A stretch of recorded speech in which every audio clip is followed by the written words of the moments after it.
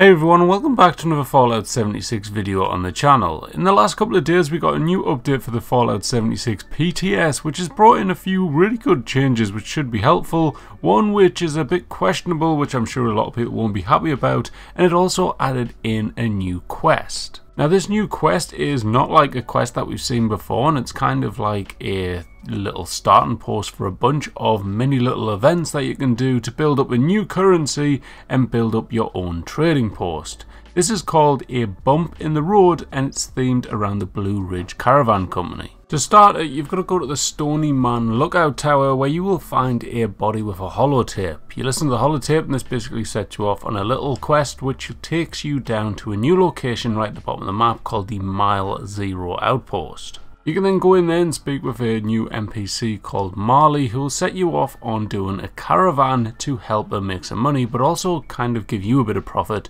which then you can spend on doing up this little mini settlement. Now for me this is one of the most annoying quests that I think I've ever done as I crashed halfway through and it kind of messed up the quest markers and for some reason the quest markers just weren't working in general which was just something to top it all off. But it is in the PTS and there's a lot of testing going on so hopefully these will all get kind of squashed washed out and fixed by the time it gets released to, into the game. Now the actual caravan run itself was actually pretty fun, there was a lot of enemies, there was a lot of chaos and you've got to defend one Brahmin which was quite hectic at points, especially when you're doing it solo. You get to fight lots of different creatures and enemies as you go through the little route, and overall it was a pretty decent little event or quest, whatever you want to call it. Now when you complete this, you'll go back to Marley and tell her that's all done and stuff, and you'll be rewarded 100 supplies, as well as 10 supplies for completing each caravan run. You can then spend these supplies at doing up this little settlement inside, where you can buy a few different little merchants. You've got a gun merchant, a Brahmin trader, a cryptid hunter,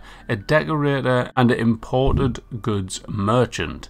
Each one of these will have their own little trading setup, I think, and little bits and bobs. I haven't actually managed to buy them all yet because I've got to be honest, guys. The grind for this is extremely long. Like you've got 10 supplies per caravan run and it costs like 100 supplies per merchant.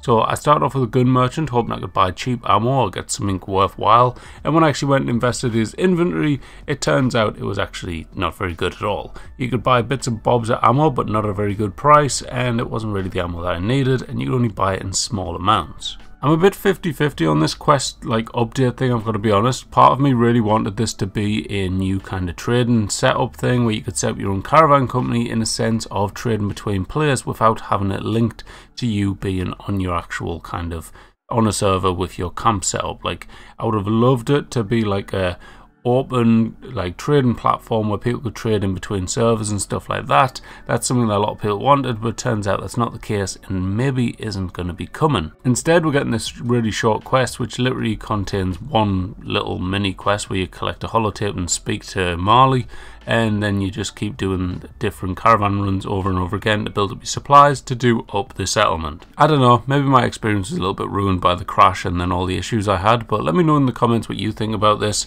Uh, are you happy about this little thing? And I don't know, like it is, it's still very early days as to what's going on with this and whether it's going to be worthwhile to build up this now, post, or whether it's just a little side thing to get you grinding. I'm not entirely sure, but we'll have to wait and see. Now moving on to the other changes that came in with this PTS update, one which I don't think a lot of people will be happy about is about eviction notice. There's been a little uh, note in the patch notes for this PTS update where they have reduced the legendary spawn rate for enemies in the event. Now this is one of the best events in the game for getting legendaries and especially with this new update and the way the new legendary crafting is going to work, it's going to be a bit a kick of the teeth in terms of grinding out legendaries. We need to get as many as we can to be able to craft the legendaries we want, and this little change is not going to help. Now finishing on some positives, there is a couple of changes that's come in, which is kind of like quality of life changes, which should be quite helpful. When you go and inspect items now, you can actually see whether or not they are a costume. This is really helpful in terms of events like the Mischief Night, which is returning in the next update. And basically in this, you will get extra rewards if you're wearing a costume, given the fact it's a Halloween themed event. This though is a little bit kind of helpful thing just to tell you which one's a costume and which one isn't in case you get confused. Now another little quality of life change that's come in as well is re in regards to weapons where now if you inspect a weapon it'll actually tell you what class it is. So I've had a lot of comments in the past of people asking what's a rifle, which one's a commando and stuff like that.